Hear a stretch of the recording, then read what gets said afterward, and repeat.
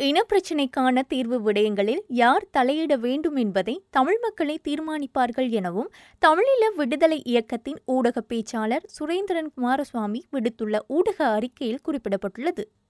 Eric சொல்கேம் நாட்டின் பிரதிநிதியோ அல்லது ராஜதந்திரியோ அல்ல எனவும் அரசியல் தீர்வு சம்பந்தமான விடயங்களில் அழையா விருந்தாளியாக கருத்து சொல்வது அவசியமற்றது எனவும் அவர் சுட்டிக்காட்டியுள்ளார்.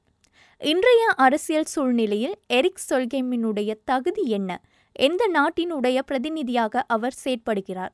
யாருடைய தூண்டுதலில் தமிழ் மக்களின் அரசியல் விடயங்கள் பற்றி கருத்து கூற முற்படுகிறார்? அல்லது அவர் யாரை திருப்திப்படுத்த முனைகிறார் எனவும் அந்த ஊடக அறிக்கையில் கேள்வி எழுப்பப்பட்டுள்ளது.